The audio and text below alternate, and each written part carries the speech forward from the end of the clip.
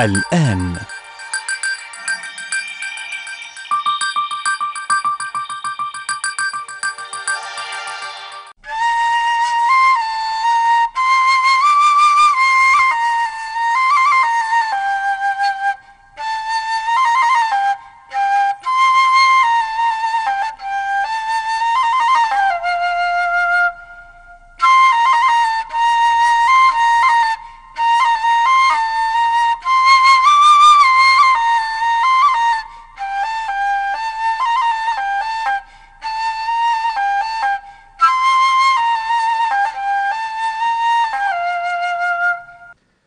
بسم الله والابن والروح القدس الإله الواحد أمين.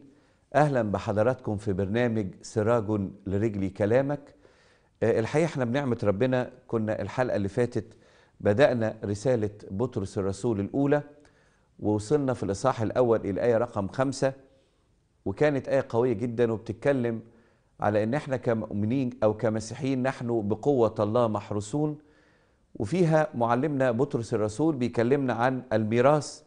اللي بينتظر الإنسان المؤمن الإنسان اللي عايش مع ربنا وبيجاهد الإنسان المتمسك بوصاية النعمة صلاة كتاب مقدس قداس تناول واعتراف هذا الإنسان بيبقى محمي بربنا على الأرض وعنده رجاء في السماء والأبدية. بنعمة ربنا النهارده نبدأ تأملات من أول آية رقم ستة واللي فيها معلمنا بطرس الرسول بيأكد على السماء والأبدية وبيأكد أنه ده سر فرحنا كمسيحيين. أن إحنا عندنا رجاء في مكان أفضل. بسم الآب والابن والروح القدس الإله الواحد أمين. الذي به تبتهجون مع أنكم الآن إن كان يجب تحزنون يسيرا بتجانب بتجارب متنوعة. آه، الحقيقة معلمنا بطرس الرسول بيقول إنه مفروض إن إحنا نفرح بالسماء والأبدية ولكن مفيش شك إن الشخص المؤمن واللي عايش مع ربنا هو عايش في وسط عالم قد وضع في الشرير. العالم وضع في الشرير فيه خطية وفيه شر وفيه ظلم وفيه اضطهاد. وبالتالي على الإنسان المؤمن أو الإنسان المسيحي إنه يتوقع إن العالم مش هيرحب بيه قوي مش هيقبله قوي. والمسيح قال لنا كده إذا عملوا كده بالعود الرطب يعني إذا كان المسيح شخصيا الذي لم يوجد في فمه غش ولم يصنع خطية وحصل فيه اللي حصل. طب إحنا بقى كناس ننتمي للمسيح وبنقع في أخطاء. ممكن يحصل لنا إيه من العالم؟ لدرجة أن السيد المسيح له المجد قال لنا في إنجيل يوحنا أنه سيأتي وقت يظن الذين يقتلونكم أنهم يقدمون خدمة لله. هيجي وقت يتخيل الناس اللي بيقتلوكم أن هم بيرضوا ربنا. عشان كده السيد المسيح قال لنا أنتم لستم من هذا العالم. لا تحط سلامك في العالم ولا تحط سلامك في بني أدمين. سلامنا في الأساس موجود في ربنا وفرحنا بربنا. وبالتالي على الإنسان المسيحي أنه يتوقع أنه تبقى فيه مشاكل. بعض الناس يقول لك الله هو ليه الإنسان المسيحي اللي بيتعرض لمشاكل؟ هو يعني ما أنتوا كده بتخوفونا من العشرة مع ربنا. وبعض الناس تقول لك خليني على مسافة من ربنا. مش عايز قوي أمشي في طريق ربنا بجد ولا أخدم ولا أعيش معاه لألا أتعرض لتجارب. بعض الأشخاص يقول لك أنا كل ما بصلي بيجرى لي مش عارف إيه. كل ما بروح القداس وأتناول بتحصل لي مشاكل وتجارب صعبة.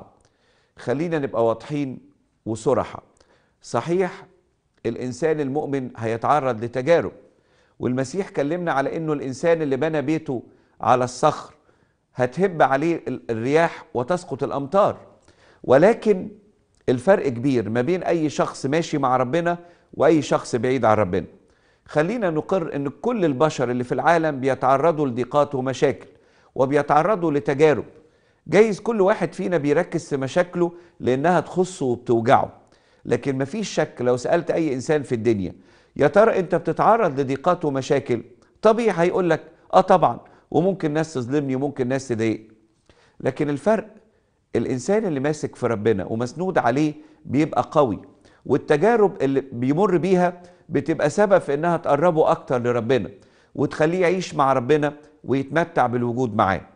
لأجل كده الكتاب المقدس واضح قال لنا في العالم سيكون لكم ضيق لكن ثقوا أنا قد غلبت العالم. الشيء اللي يطمنا إنه إلهنا إله قوي ملك الملوك ورب الأرباب ضابط الكل لا يعثر عليه شيء.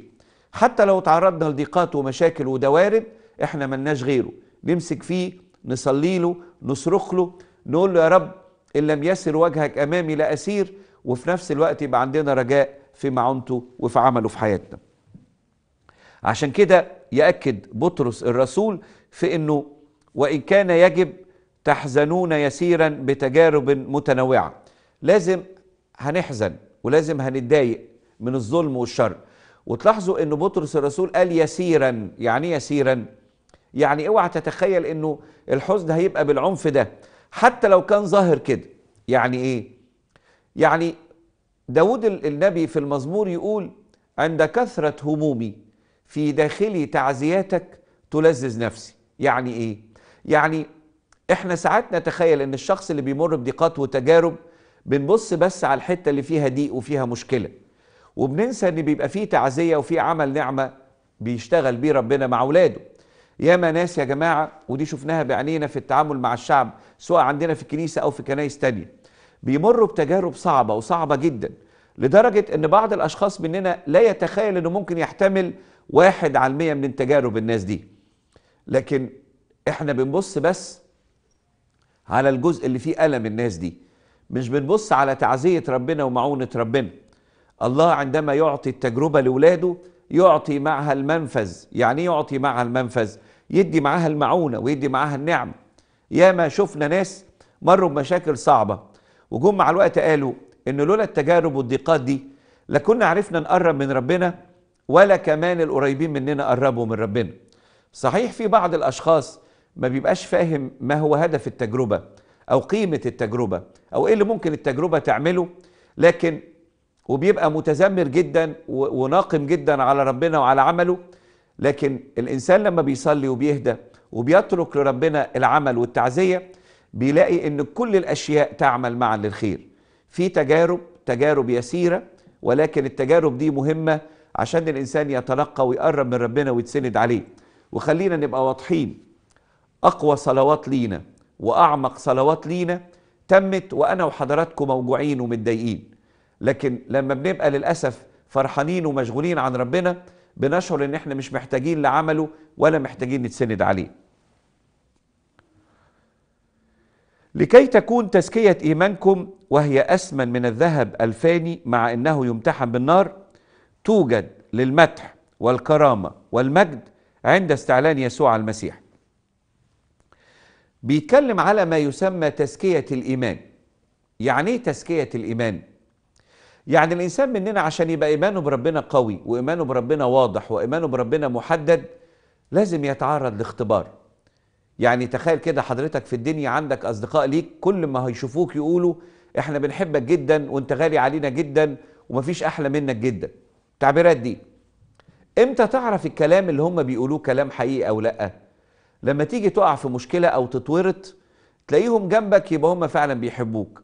تلاقيهم انشغلوا عنك وعملوا مش واخدين بالهم يبقى محبتهم وإيمانهم بيك وعلاقتهم بيك مش علاقة قوية. الكتاب المقدس يقول لنا نحن نحبه لأنه أحبنا اولا أو قبلا. إحنا بنحب ربنا ليه؟ لأنه أحبنا و- وأسلم ذاته وأطاع حتى الموت موت الصليب. وال- والمسيح ملك الملوك ورب الأرباب أخلى ذاته اخذا صورة عبد صائرا في شبه الناس وأطاع حتى الموت موت الصليب. يعني المسيح لما بين لنا إنه بيحبنا وبين لنا إنه محبته لينا محبة غير عادية عمل إيه؟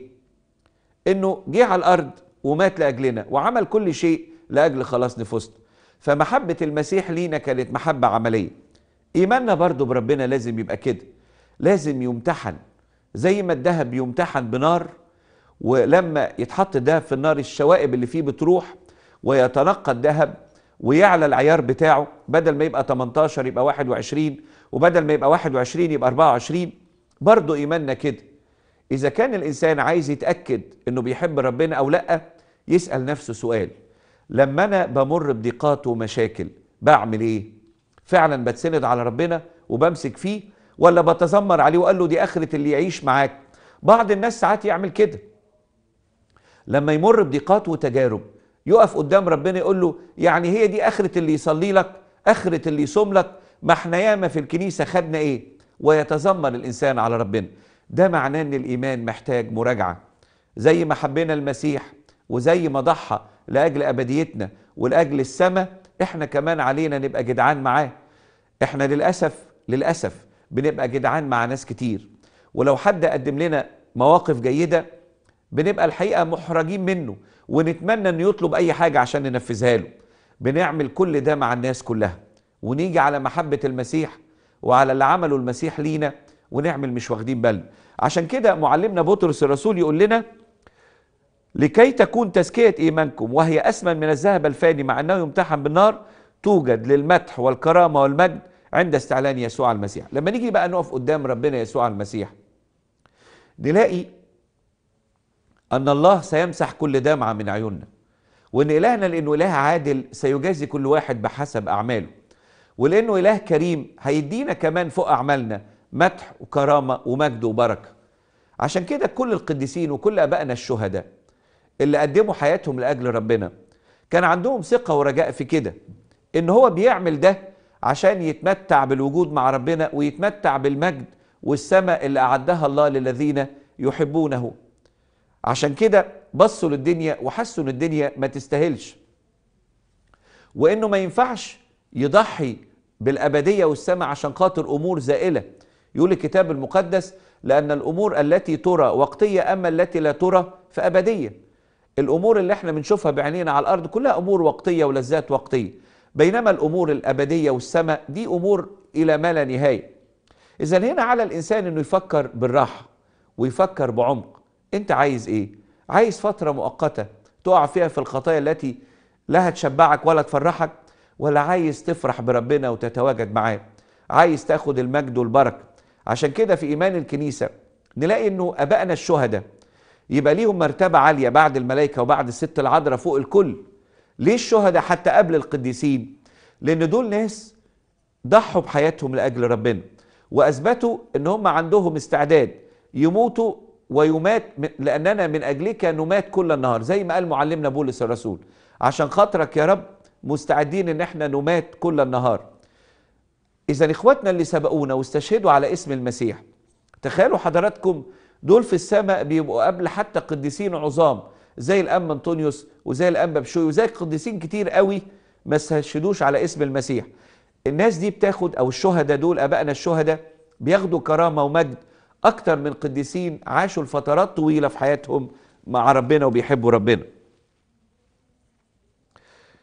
يقول كمان وذلك وإن لم تروه تحبونه ذلك وإن كنتم لا ترونه الآن لكن تؤمنون به فتبتهجون بفرح لا ينطق به ومجيد. يقول كده أنا عارف إن أنتم مش شايفين ربنا. أنتم ما كنتوش شايفين المسيح اللي إحنا شفناه والمسناه واتكلمنا معاه وسمعناه. لكن وإن لم ترونه تحبونه. يعني إيه وإن لم ترونه تحبونه؟ الحقيقة المسيح مش محتاج يتشاف عشان يتحب. المسيح لو سمعنا عنه وسمعنا عن عمله وصدقنا كل التفاصيل المذكورة عنه في الكتاب المقدس طبعا هنحبه ونحبه بسهولة. هنحبه لأنه مش هنلاقي حب أعظم من كده ومش هنلاقي وصايا وتعليم أعلى من كده. ومش هنلاقي يعني إله أحب خاصته إلى المنتهى وبذل ذاته لأجلنا زيه. ومش هنلاقي إله يشعر بأولاده زي ما ربنا عمل. يقول الكتاب لأنه فيما هو قد تألم مجربا يقدر أن يعين المجربين. لو إحنا ركزنا مع المسيح مش هنقدر ما نحبوش. المسيح هو أبرع جمالا من كل بني البشر. المسيح اللي خلى ناس كتيرة من الفلاسفة حتى غير المسيحيين يقولوا إنه المسيح ده مختلف شيء مختلف. هو رسول للسلام وهو مصدر للحب. هو حب ماشي على الأرض. حتى غير المسيحيين كتير منهم لما بيقرأ وبيهدى كده وبيصلي بيلاقي إنه لا المسيح ده مختلف. كتير من الناس اللي كانوا غير مسيحيين وصاروا مسيحيين من ضمن أسباب مسيحيتهم انجذابهم بشخص المسيح. عشان كده الكتاب يقول لنا ليحل المسيح أو ليحل المسيح بالإيمان في قلوبكم حتى تستطيعوا أن تدركوا مع جميع القديسين ما هو الطول والعرض والعمق والعلو وتعرفوا محبة المسيح الفائقة المعرفة. يعني الكتاب المقدس بيصلي لنا بيقول يا رب المسيح يحل بالإيمان في قلوبكم عشان تقدروا تعرفوا يعني إيه ربنا بيحبكم. يعني إيه ربنا مات علشانكم. يعني إيه ربنا أخلى ذاته أخذا صورة عبد صائرا في شبه الناس.